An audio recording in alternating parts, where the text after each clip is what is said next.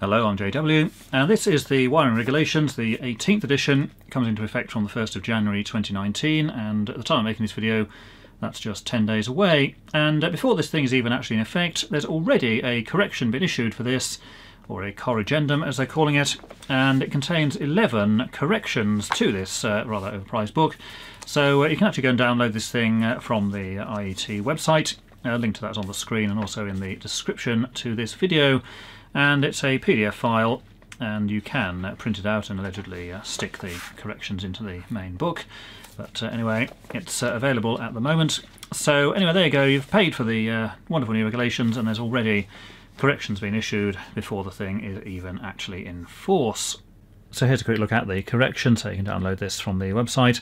So basically we've got a uh, amendment there to some colour of the cabling so we've got cream and now it's added pink in there and it says cream or pink, but uh, not really clear whether it means cream and pink or cream or pink or whatever. And the label sizes are incorrect. Basically, it's going back to the size it was in the previous edition. I uh, did actually mention that in the video on the updates to that, so they're obviously far too big. And then we've got another one here, which someone in a YouTube comment did actually point out a while back.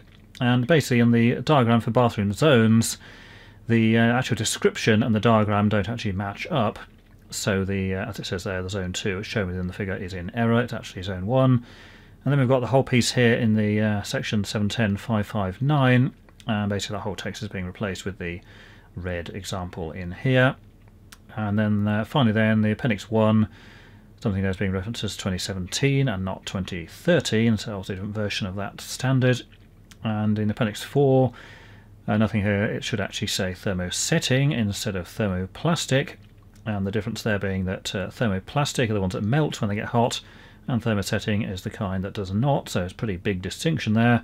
And then finally, in table 4F3A, glass fibre flexible cable, ambient temperature should be 35 to 150 degrees centigrade, not 35 to 50 degrees centigrade, which of course is uh, barely even warm.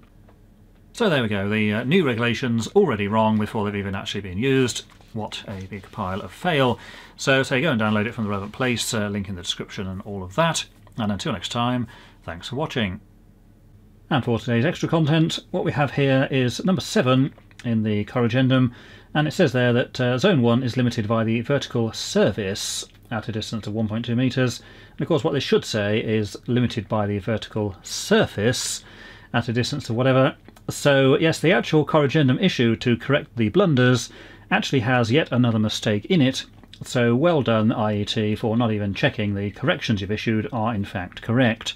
It's just one fail after another.